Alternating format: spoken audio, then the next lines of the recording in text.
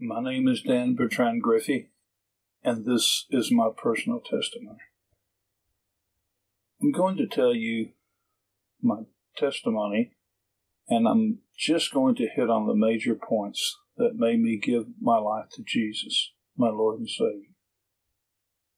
I was born Daniel Bertran of the Griffey family of Fort Worth, Texas. I mention this because of the circumstances of my condition at birth. I was born three months prematurely and weighed two and a half pounds. I had to stay in an incubator for a week to gain weight. No one thought I was going to live, not even my mother. She had had a miscarriage a few years before and did not want to get attached to a baby who all the doctors had told her probably would not survive more than a few days. In 1955, few premature babies survived the first week, and having one born three months prematurely, the doctors gave no hope to my family that I would ever leave the hospital. Every day after he got off work, my dad would come by the hospital and holding me in his arms, he encouraged me to live with the words of his prayers. After a week of this and growing to a whopping five pounds, the doctors, in amazement, sent me home because they believed they would be filling out a death certificate. They hadn't even taken the time to complete a birth certificate. That's why my birth certificate reads five pounds at birth. My mother and her sister came to the hospital to pick me up. They had brought a shoebox to carry me in. They were afraid to hold me because I was still so frail. At home, my brothers and my sister were on watch when the family cat was around because my mother had told them I was so frail and small that the cat might try to drag me off and eat me. But God had things for me to do. He did not intend for me to end up as cat food. I was sick and frail throughout my childhood, with every problem you could think of chronic asthma and epilepsy, to name a few. As a small child, I had to walk around with a string around my neck that ran through a big eraser, so that if I went into an epileptic fit, my sister or my brothers were to shove this big eraser into my mouth so I wouldn't bite off my tongue. For many years, I could not play games with other kids. I could only sit and watch. This concentrated observation taught me to observe everything going on around me. When I got to be about four years old, my father, who was an author, would let me sit in his office and watch him write if I didn't make any noise. I saw him sitting there grasping images that were forming in his mind like a blacksmith hammering his thoughts into words with every strike of the typewriter keys, as sweat poured down his face. This was Texas before home refrigerated air conditioning. All he had to cool the hot air was a swamp cooler. That image would stay with me for the rest of my life. The image of a blacksmith hammering out choice words upon a white anvil in an ancient blacksmith sweatshop. His mental muscles flexing with every thought burned itself forever into my psychic. The scene made such an impression on my young mind. I guess that's why I wanted to be a writer when I grew up. In the 50s, television was a very new form of creative expression. So my dad watched it to see other creative people's work. I would sit on the couch beside him to keep me quiet so that I wouldn't ask so many questions. He invented a game to play with me.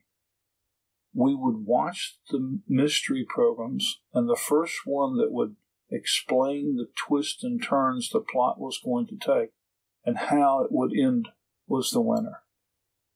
As a small child, through this television game my dad created, the Lord taught me not to get so distracted by events in the story, but to see through those events into the actual message. This acquired training became crucial many years later in studying the Bible to discern biblical prophecy and applying it to events that would happen during the Great Tribulation period. Because I was very sickly and frail, my dad would tell me a story about a kid in his hometown in Kentucky who was much worse off than me. He had asthma so bad he could only take a few steps and then succumb to exhaustion and collapse on the floor. His father would carry him in his arms to the train tracks that ran by their house. After dinner, there was plenty of fresh air on those tracks. The boy would take as many steps as he could as he counted the number of railroad ties to gauge his progress. At first, he could only walk five or six ties and then collapse to the ground. His father, with encouraging words, would pick him up in his arms and carry him back to the house. Every day the father and son would do this, and he would add a few more railroad ties to his count every day. Much time passed, and he began to run the ties. He ran faster and faster, day after day. This became a habit, and the practice became a pattern in his life.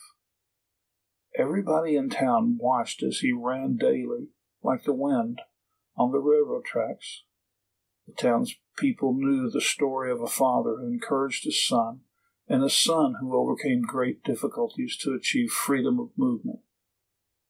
My dad's story ends with the boy becoming a very fast young man, representing the United States in the World Olympics. Now, I don't know if this is a true story or a story my dad made up, being the creative person he was, but it worked to motivate me. The latest information on premature babies has shown that they have difficulty in school because it is believed the development of their minds was not complete in the womb and their mind had to catch up as they grew. School was very hard for me, and this is no understatement, especially grammar school or elementary school. I found out that nobody wanted to be friends with one of the dumbest kids in the school. And every recess, I couldn't go out to play. I had to attend a special education class with about five or six other students. At the end of the sixth grade, on graduation day, I looked back at my time at the school and realized that I only had one friend a kid named David Ballard. On the last day of school, I found myself standing near a rail on the playground when all the other kids had long gone home. I was feeling dumb, friendless, and depressed. Even at that young age, I wanted more out of life than I had already received. It was then and there, in that state of mind, that I negotiated a deal with God. I told him that if he would make me popular at the other school I was leaving to go to, a junior high school, and then after that high school, I would someday give my life completely over to him. To fast forward, that is what happened. My grades improved the following year and my popularity increased with every grade and every year after that. I found myself with the whole school as my friend. No longer sick and weak, I even played football. In my junior year of high school, things began to change. Heaven started pushing events around in my life to produce a decisive change. I was 17 years old and heaven sent me a dream that was a spiritual outline for the rest of my life. I knew when I had the dream that it was from God. It was to show me the future of the world, especially the biblical tribulation period. In this dream, I found myself stepping down a spiral staircase. Each step represented the Lord directing the events of my life. leading to a room at the bottom of the stairs. In this room was a large table, like a kitchen table, except larger. Around the table were a few women, no more than four or five in number. I sat down at the table with them, and in front of us were Bibles. As we discussed the Bible, outside the room a loud horn sounded like a trumpet. When this happened, I looked up from my Bible and saw that none of the other people were looking up. I said, Did you hear that? They replied, Hear what? That horn. Did you hear that horn? They said, We heard nothing. I told them, I am going to find out what that is. And I got up and went outside to see. Outside, I looked up in the sky and saw the sun, much larger than usual, and the moon and stars still in the sky. The sun and the stars became dark from one end of the sky to the other and after that they fell from the sky. Only the moon was left. Then the moon turned blood red. People came running out of their houses like crazy people when this happened. They ran down the street, screaming all the time. Then, from different parts of the landmass, as far as I could see, people began to ascend out of the ground, straight from their graves into the air, their hands clasped in prayer, dressed in radiant white robes, with their faces looking upward, singing the Hallelujah chorus from Handel's Messiah. Multitudes of them disappeared into the clouds. A horrible realization came to me that I was still on the ground and had not been, as the Christians predicted, raptured off the planet. The sins of my heart and mind all came before me, and I fell on my knees crying to the Lord God, Have mercy on me, and do not leave me behind. Then I found myself rising in the air, but I did not go into the clouds as the others nor was I dressed in a white robe like the others. I was suspended below the clouds with many others, who were all still dressed in street clothes. After a large group had gathered, we began to move in mass over all the earth's surfaces. We crossed over every continent and nation as we did. People came out of these nations and began to float up into the air to join us. By the time we had crossed over every country on earth, our group had grown quite large. Millions of people flew in the air with us. We flew in the Middle East to the Holy Land. In Jerusalem, there had been built a colossal building waiting to receive us. It looked like a huge barn on the top of a high hill. We all flew into it and its walls began to bulge out because of our number. Inside this colossal barn, we saw a large window on its far wall. From without, you could not see this window, only from the inside. We knew that to enter heaven, we had to crash through the window. This was the window that the scripture says we see through a glass darkly. And that ended the dream. I know now this dream was the second Exodus. In the latter part of my junior year in high school, I woke up from that dream, knowing that something big had just happened. What was also so different about this dream was that I had total recall of it. I could play back any portion of it at any time. 49 years after the dream, I still can at any time. After that dream, I could feel the presence of something heavenly, something good near me almost all the time. I knew I wasn't a Christian, but that I, without a doubt, believed that God existed. And I knew that knowing that in itself did not make me a Christian. Satan knew God existed, and he was no Christian.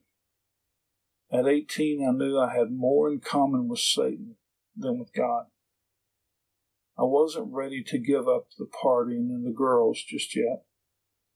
Powerful dreams are no powerful dream.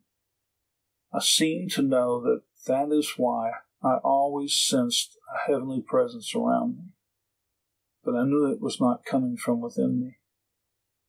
After graduating high school, I went to college in East Texas. Before classes started, I was invited to join or was rushed into a fraternity. Frat guys took me and some other guys to a lake water skiing. The water was very cold, and I came down with bronchial pneumonia that night in the dorm room. I refused to leave college for a hospital back in Fort Worth, and the hospital in the city where the school was, the school physician told me I would never make it out of that hospital alive because they were so poorly trained. So for the first three weeks of college, I hung on to my life in my dorm room, coughing up buckets of phlegm from my lungs, which seemed never to empty out. I started college with 250 pounds of muscle, thinking about trying out for the football team. I was all muscle and no fat. Three weeks into college, I weighed under 200 pounds and was still dropping. I even prayed to God to heal me. After three weeks of fighting for my life, flat on my back and very weak from coughing all the time, the Lord answered came that night. His words to me were short and to the point. You're going to die. When I heard that voice, whether in my head or heart, I could not tell, I was very sick. At that point, I pushed everything else in my life to the side college, football, fraternity, girls, everything. The Lord of the universe had my undivided attention. I don't understand. Why must I die? I'm only 19 years old, was what I said. The Lord's reply was, We made a deal when you were in the sixth grade, and I kept my side of the deal, but you have not kept yours, so you're going to die. After the shock of hearing that, my response was, You did keep your end of the deal, and although I do not know how to give my life to you, I will keep my end of the deal also. The next day, three weeks after college had started, I found myself sitting in my first college class. I must have looked like death warmed over, thin, weak, and no longer sick. There I sat, grinning ear to ear. I was still not a Christian. I didn't quite know how to do that yet. That would not happen till summer break after my freshman year. At a home Bible study I was invited to. When I walked into the man's house that had invited me and sat down with the five other people at his kitchen table, the first part of my dream came true. The guide leading the study said he had a dream the night before that we should study a specific verse. They were kind enough to open a Bible and turn it to that verse and hand it to me, sliding it across the kitchen table. As my eyes crossed the page of the Bible, a verse caught my eyes, and I could not take my eyes off of that verse. I mean, literally could not take my eyes off that verse. I could not move my eyes from that verse. The other people noticed I was looking at the wrong verse. They then pointed to the verse we were to study, but I could not remove my eyes from the verse they were fixed to. They tried physically moving the Bible. I was looking at across the table to a different place on the table. And then they tried pushing my head down when that didn't work, so my eyes would be looking at the verse we were going to study. But it was no use. My eyes were not cooperating. Then the leader said, Read the verse you are looking at. So I did. But before I read that scripture, I need to back up a little bit here. When the people who had invited me to this Bible study and the people giving the Bible study started the study, they did it by prayer. Not the kind of prayer I was used to. You see, I was raised Southern Baptist, and we prayed quietly and to ourselves, not out loud. Except for a special prayer, like a leader would give in a large group where one person is saying the prayer for the whole group. But these people, I was to find out later, were Pentecostals. Holy Ghost filled with the evidence of speaking in tongues, Pentecostals. Now, I didn't know anything about Pentecostals. When they began praying, I nearly came out of my chair. Their way of praying was anything but quiet and reserved. And within that prayer was what they called their heavenly prayer language. When I heard that, I nearly bolted for the front door. I thought for sure I, a young college student, had fallen in with a bunch of devil worshipping occultists who were planning on drugging me and sacrificing me spread out on that kitchen table. So, with a genuine fear for my life, I bowed my head and in my mind I prayed, Lord, if these people are of you, and you have sent me to them, you had better tell me, because if not, I'm out of here. Now we get back to the verse my eyes would not move away from.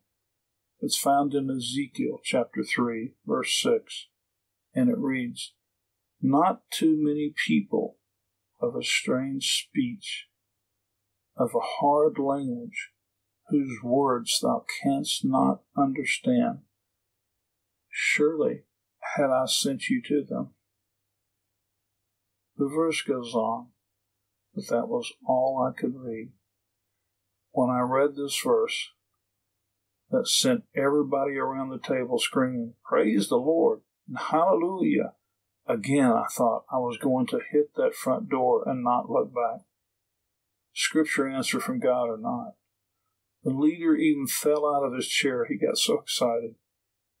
That was it for the Bible study. After that, Everyone in the Bible study wanted to go into the next room and pray. So we got up and walked over to the living room. I let them all get in front of me, still thinking they might plunge the sacrificial dagger into my back. I kept all of them where I could see them. Everybody got down on their knees on the carpet. That was okay. That was Christian. Then they began their loud prayers when I was sure everybody was in front of me, I knelt at the coffee table and began praying silently. Then they started speaking in tongues again, which nearly made me jump out of my skin. I looked over at the front door, which was a lot closer now, and I saw that no one was between me and it. At that moment, a voice to my right side said, These people are of the devil. You'd better run out that front door. That sounded like the most logical thing I had heard all night. So I quickly started rising off my knees and preparing to make a dash for the door. All of a sudden, halfway up, I was stopped two huge hands on my shoulders. not realizing it at the time, but hands this big would have had to come from a very large giant. Thinking that everyone that had been at the kitchen table was kneeling before me, they must have had this big guy hiding in the back room. He's the guy who will hold me down on the table while they plunge the sacrificial dagger in my, into my chest. Slowly, I turned my head, not to excite this big guy, but I wanted to get a look at who I was going to have to fight to get out of here. I looked behind me, but there was no one there. No one.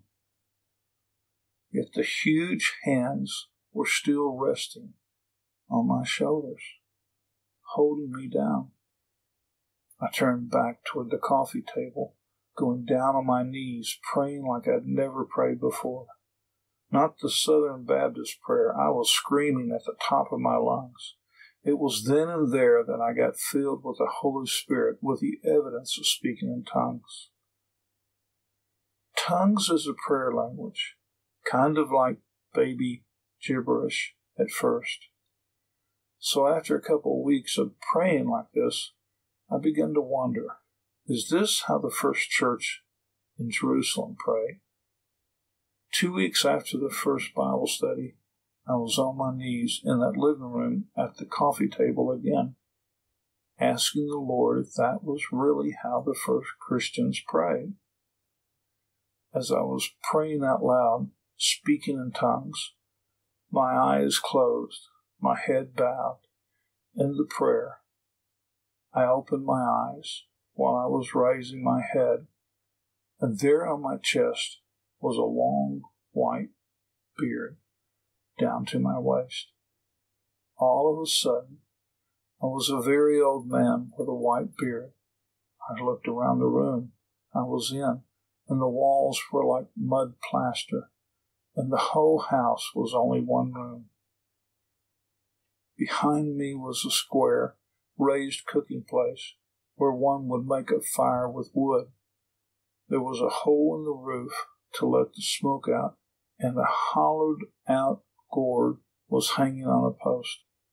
That was part of the cooking structure.